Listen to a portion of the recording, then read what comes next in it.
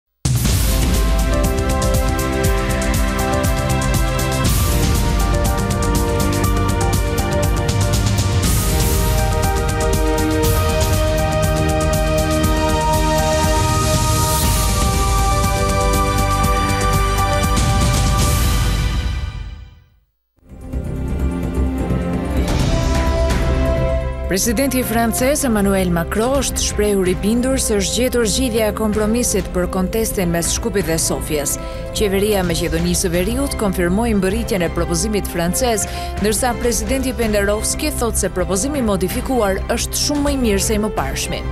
Interpelanca për kryeparlamentarin Talat Xhaferi. VMRO DPMNE me akuza e me miratimin e tij parlamenti është shëndruar në maqinë votuese për veprimet kriminale të qeverisë. Xhaferi kundërpërgjigjet se deputetët e opozitës së pari duhet të shihen në pasqyrë para se të akuzojnë për shkelje të ligjeve. Nuk do të ketë kufizime të rrymës, edhe pse po na pret një dimër i rëndë, thotë ministri i Ekonomisë Kreshnik Bekteshi. Kompetentët thonë se po bëhen përpjekje që të mbulohen njëqind për qind të nevojave për rrymën, që të mos ketë importe. Shefi i NATO-s Jens Stoltenberg ka deklaruar se Finlanda dhe Suedia do të nënshkruajnë zyrtarisht protokollet për t'u pranuar në aleancë së shpejti. Ai u shpreh gjithashtu se NATO është e përgatitur për çdo skenar të mundshëm pas kërcënimeve nga Rusia.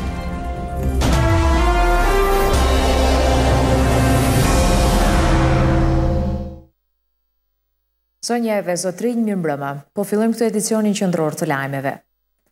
Maqedonia e Veriut dhe Bullgaria janë dakorduar për të tejkaluar kontestin rreth përmbajtjes së kornizës negocuese, me të cilën Shkupi duhet t'i zhvillojë negociatat me Bashkimin Evropian. Këtë lajm pasdite në Madrid e ka bërë publik presidenti francez Emmanuel Macron. Ndërkaq nga Qeveria e Maqedonisë së Veriut, përmes Ministrisë për Punë të Jashtme, Nga presidenca franceze e Bashkimit Evropian ka mbërritur propozimi me ide që kanë të bëjnë me propozimet dhe qëndrimet, siç thuhet, publike dhe të qarta të vendit tonë. Presidenti francez Emmanuel Macron në një konferencë për media në samitin e NATO-s në Madrid është shprehur i bindur se është gjetur zgjidhje e kompromisit për kontestin në Shkup-Sofje. Për çështjen e aderimit të Republikës së Maqedonisë së Veriut i kemi vazhduar konsultimet me autoritetet e Republikës së Maqedonisë së Veriut dhe Bullgarisë, për shkak se angazhimi ynë për perspektivën evropiane të Ballkanit Perëndimor është që t'i hapim kapitujt e parë për Republikën e Maqedonisë së Veriut dhe Shqipërinë. Në bazë të këtyre konsultimeve, jam i bindur se gjetëm zgjidhje kompromisi, të pranueshëm nga të gjithë, në interes të Bullgarisë dhe Republikës së Maqedonisë së Veriut. Presidenti Macron shpreson se shqyrtimi i propozimit ditëve në vijim nga të dyja palët do ta konfirmojnë këtë. Président et Premier ministre bulgares ont confirmé leur adhésion à cette. Presidenti i Bullgarisë dhe kryeministri konfirmuan se pranojnë propozimin. Për këtë do të ketë konsultime në Shkup. Zgjidhja sjell parashikueshmëri dhe siguri për tejkalimin e kontesteve që janë trashëguar nga e kaluara. Është prononcuar edhe presidenti i Këshillit Evropian Charles Michel. Ai pas përfundimit të pres konferencës së presidentit Macron në Twitter ka përshëndetur propozimin francez, duke bërë thirrje se është momenti të thuhet po. Zgjidhja i adreson shqetësimet e shprehura, asnjëherë nuk kemi qenë kaq afër, tani është momenti të thuhet po. Nga ana tjetër pasdite Qeveria e Republikës së Maqedonisë së Veriut përmes një komunikate njoftoi se ka mbërritur një propozim me ide nga Presidenca franceze e Bashkimit Evropian. Propozimi paraqet bazë për hapjen e një procesi të gjerë konsultativ, së pari në Qeveri dhe partnerët e koalicionit, e më pas edhe me Presidentin e vendit, me Parlamentin dhe opozitën, si dhe me sektorin qytetar dhe opinionin e ekspertëve. Qeveria e Maqedonisë së Veriut ka falënderuar presidentin Macron dhe presidencën franceze në Bashkimin Evropian për përpjekjet e tyre që të tejkalohen pengesat dhe siç thuhet të ruhet kredibiliteti evropian në Ballkan.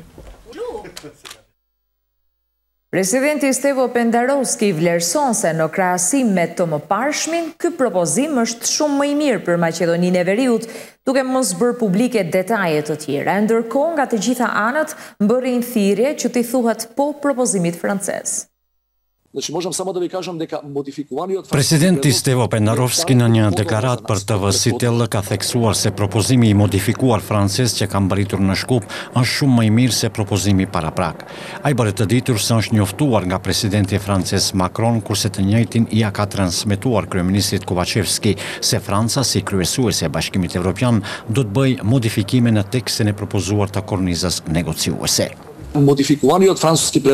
Mund të them se propozimi i modifikuar francez është shumë më i mirë se i mëparshmi.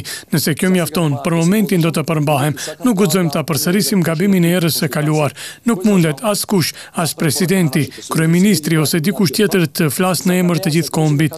Ekzistojnë institucione kompetente. Kryetari i Aleancës për Shqiptarët, Ziadin Sela, në një prononcim për gazetën Lajm tha se propozimi i Francës duhet të shqyrtohet seriozisht nga Shkupi zyrtar. Bëj apel që të të merret me seriozitet propozimi që është në tryezë tani i ashtuquajtur i Francës, sepse nuk bëhet fjalë për përkrahjen ose jo të këtij propozimi. Bëhet fjalë për vazhdimin ose jo të rrugëtimit të Maqedonisë së Veriut në rrugën e Bashkimit Europian. Më i drejtpërdrejtë ishte kryeministri shqiptar Edi Rama, i cili përmes rrjeteve sociale i ka bërë thirrje zyrtarëve të Maqedonisë së Veriut që të pranojnë propozimin francez.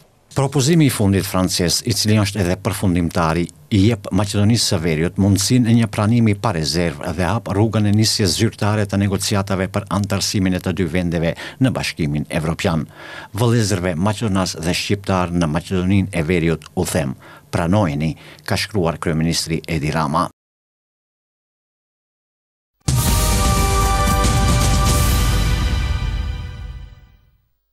Në Kuvend, seanca për interpelancën e kryeparlamentarit Talat Xhaferi është shoqëruar me akuza dhe kundërakuza midis deputetëve të pozitës dhe opozitës. E në linjë të drejtpërdrejtë nga Kuvendi sërish e kemi kolegen Ajnur Bafqari. Përshëndetje Ajnur, si është zhvilluar debati këtë pasdite në Kuvend?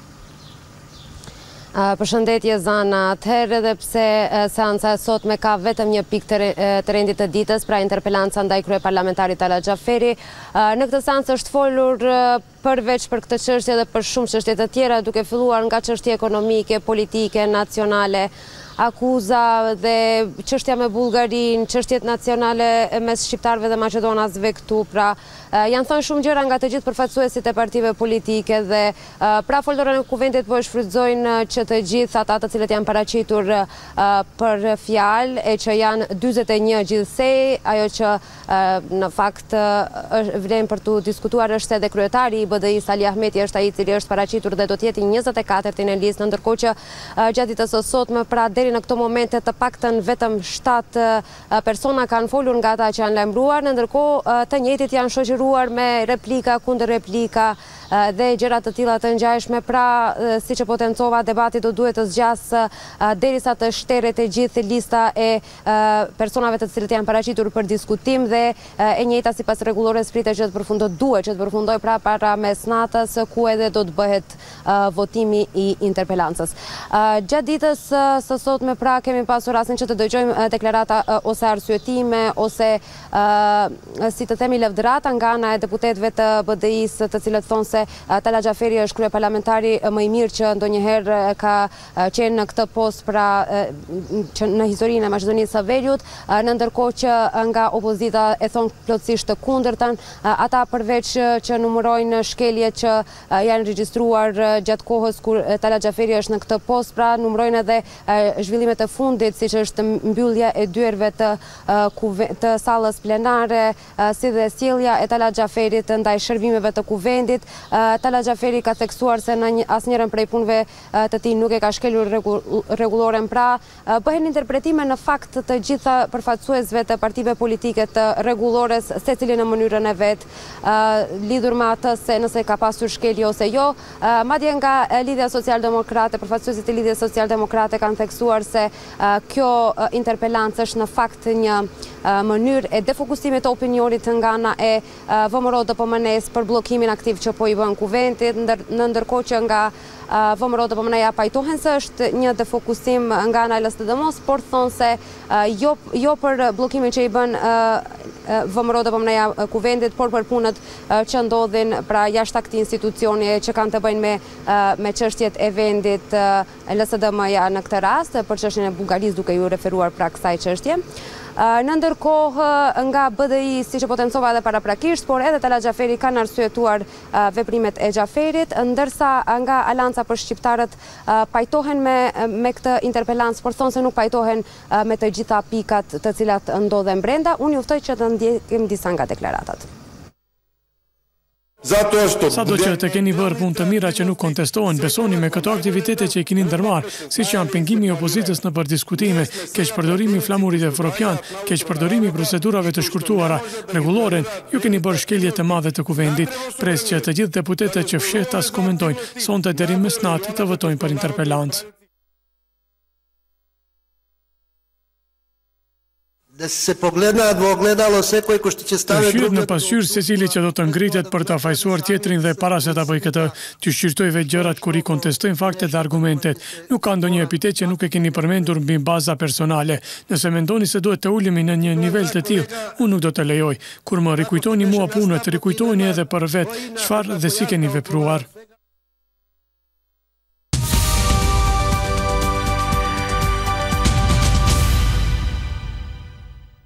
Për herë të parë në historinë e vendit ndodh që një numër i madh i gjyqtarëve dhe prokurorëve publikë të pensionohen.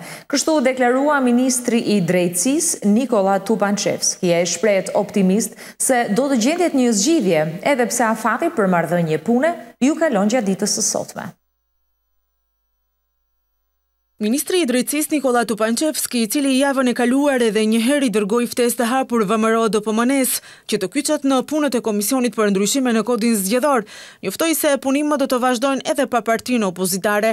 Ai shprehet optimist në miratimin e ligjit. VMRO-së i është dërguar një letër tjetër, nëse nuk komentojnë do të fillojmë të punojmë për kodin zgjedhor. Ftesa për anëtarësim dhe për të dhënë propozimin e tyre është gjithmonë e hapur. Ideja është të veprohet sipas rekomandimeve të OSBE-së dhe ODIHR-it. Pamjaftueshmëria e gjyqtarëve dhe prokurorëve publikë është një çështje komplekse. Sipas tij, nëse nuk kalohen ndryshimet në Ligjin për Marrëdhëniet e Punës, gjashtëdhjetë gjyqtarëve dhe trembëdhjetë prokurorëve publikë u përfundon marrëdhënia e punës. e cila do të sjellë shumë vështirësi. Kjo është një çështje komplekse që ka një gjenezë. Nëse nuk kalohen këto ndryshime në Ligjin për Marrëdhëniet e Punës, rreth gjashtëdhjetë gjyqtarëve dhe trembëdhjetë prokurorëve publik do t'u përfundojë afati i punës. Pensionimi i gjyqtarëve dhe prokurorëve publik do të nënkuptojë se shumë nga procedurat do të duhen të fillojnë përsëri. Të mos harrojmë, nuk bëhet fjalë për një apo dy procedura. Kur ndërrohet gjyqtari në procedurë, procesi pastaj fillon nga e para, I thashë, nuk e di sa është numri për momentin, por nuk është i vogël. Ai theksoi se një nga propozimet për zgjidhjen e problemit aktual ka qenë që t'u jepet mundësia personave që kanë përvojë në fushën e drejtësisë si, avokatë, bashkëpunëtorët profesionalë, me trajnime të shkurtra të jenë pjesë apo zgjidhje e këtij problemi. Opsioni i dytë sipas tij ishte rritja e studentëve në Akademinë për gjyqtarë dhe prokurorë dhe opsioni i tretë, vazhdimi me ndryshimet në Ligjin e Punës. Të vazhdojnë edhe për tre vjet shërbimet për punë të gjyqtarëve dhe prokurorëve publik. Lidhur me ndryshimet në Kodin Zgjedhor kanë reaguar nga VMRO-DPMNE dhe Sindikata e Punëtorëve të Administratës, organeve gjyqësore dhe shoqatave të qytetarëve. Partia opozitare VMRO-DPMNE akuzon pushtetin për partizim të gjyqësorit dhe se përmes ndryshimeve në Ligjin për Marrëdhënie Pune, kërkon t'ua zgjasë mandatin e ekzekutorëve politikë.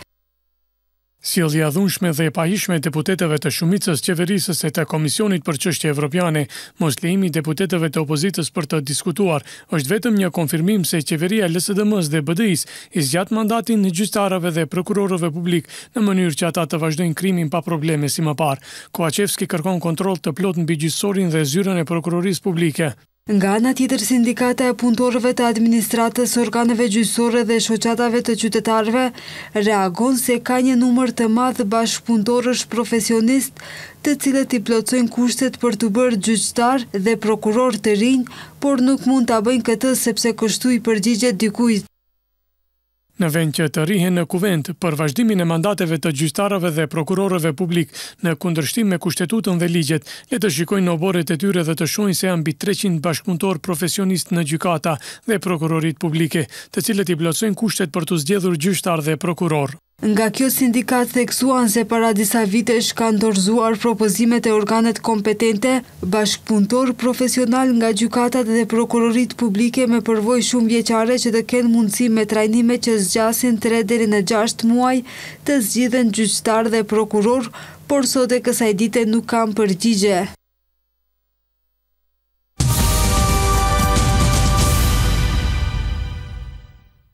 Maqedonia e Veriut ka rritje të rëndësishme në aspektin e tranzicionit energjetik në periudhën e kaluar, duke zbatuar disa reforma dhe duke ndjekur vizionin e saj për ndërtimin e një sistemi energjetik të besueshëm, efikas, ekologjik dhe konkurrues, që do të ndihmojë rritjen e qëndrueshme ekonomike, kështu shprehet zëvendës kryeministri për çështje ekonomike, Fatmir Bytyqi.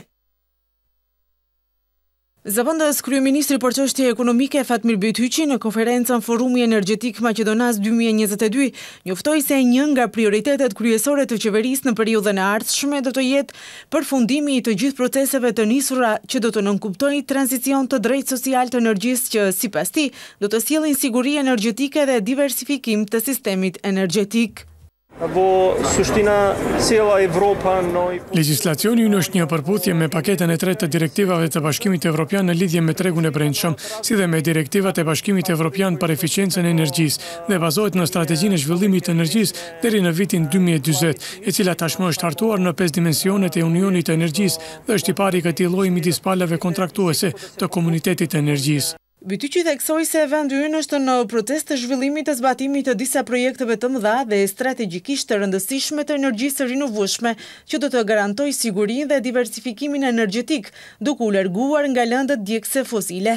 Nga ana tjetër, ministri i Ekonomisë Kreshnik Bekteshi njoftoi se Maqedonia e Veriut ka vetëm një gazsjellës me Bullgarinë, i cili është plotësisht i dhënë me qira nga Gazprom. Nëse Gazprom sipas tij vendos të ndërpresë furnizimin me Maqedoninë e Veriut, atëherë vendi nuk ka burime të tjera furnizuese për momentin. Sipas tij, deri në fund të vitit pritet që të fillojë ndërtimi i interkonektorit të gazit natyror me Greqinë, i cili do të zëvendësojë varësinë tonë nga gazi rus, tha kështu ministri Bekteshi në këtë forum.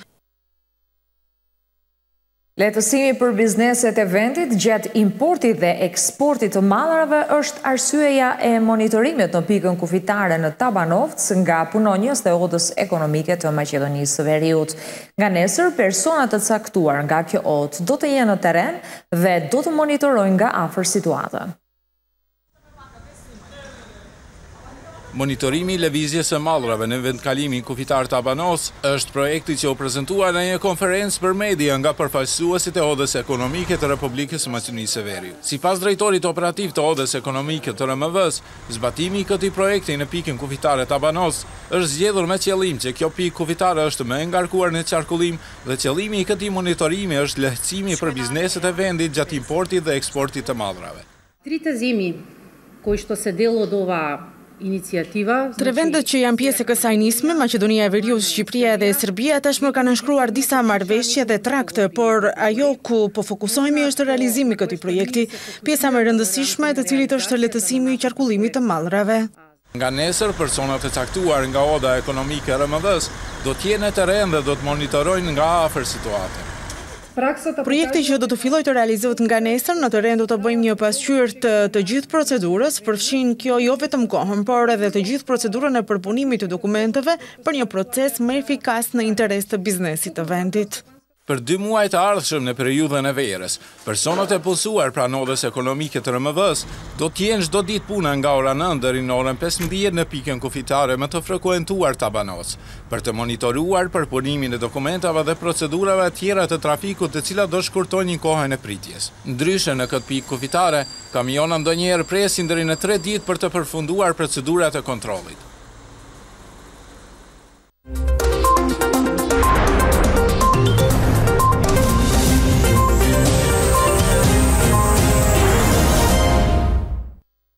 Gjatë seancës së sotme, antikorupcioni konstatoi konflikt të interesit të një anëtari të këshillit të një komune, njëkohësisht kryetar i një shoqate të qytetarëve që ka votuar për ndarjen e mjeteve për shoqatën e tij.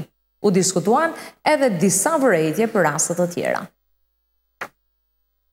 Komisioni Shtetëror për Parandalim të Korrupsionit në seancën e sotme konstatoi konflikt të interesit, përkatësisht mospërjashtim gjatë votimit si situatë e posaçme në të cilën është gjendur një anëtar i këshillit të një komune, njëkohësisht kryetar i një shoqate të qytetarëve. Antikorrupsioni kërkon të inicohet procedurë në përputhje me sanksionet për kundërvajtje dhe kompetencat ligjore të këtij komisioni. Komisioni Shtetëror për Parandalim të Korrupsionit konstaton se ai ka kryer shkelje të dispozitave ligjore, ai ka marrë pjesë dhe ka votuar për ndarjen e mjeteve për shoqatën, e cila në bazë të të dhënave nga Regjistri Qendror, ai është edhe themelues edhe pronar i së njëjtës. Në të vërtetë, nuk ka ardhur deri tek lidhja e marrëveshjes mes komunës dhe shoqatës përkatësisht mjete nga buxheti i komunës nuk i janë transferuar shoqatës, ku anëtari i këshillit dhe pronari është edhe personi udhëheqës. Në lidhje me lëndën kundër dy personave të punësuar në sektorin për punë të brendshme Kumanov, në cilësinë e kryetarit dhe anëtarit të Komisionit Disiplinor, të cilët kanë vepruar sipas propozimit për inicimin e procedurës për përcaktimin e përgjegjësisë për shkak të shkeljes së rendit të punës dhe disiplinës kundër parashtruesit të kërkesës, Antikorrupsioni vendosi që paraqitja të dorëzohet në Repartin e Kontrollit të Brendshëm Hetime kriminalistike dhe standarde profesionale në MPB.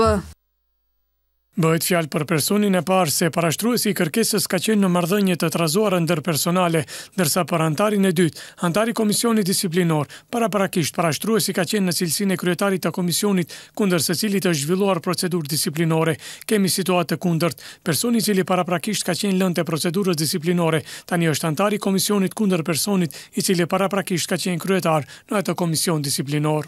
Ndërkohë nga antikorrupsioni theksuan se nuk kanë asnjë element për të ndërmarrë ndonjë veprim dhe nuk kanë kompetenca për paraqitjen e dorëzuar ku parashtruesi dyshon se ish-drejtori i Shoqatës Aksionare Aerodromi të Maqedonisë së Veriut, edhe pse e ka ditur se banka Eurostandard është në krizë dhe do të ketë probleme rreth asaj, ka deponuar para të kompanisë në këtë bankë.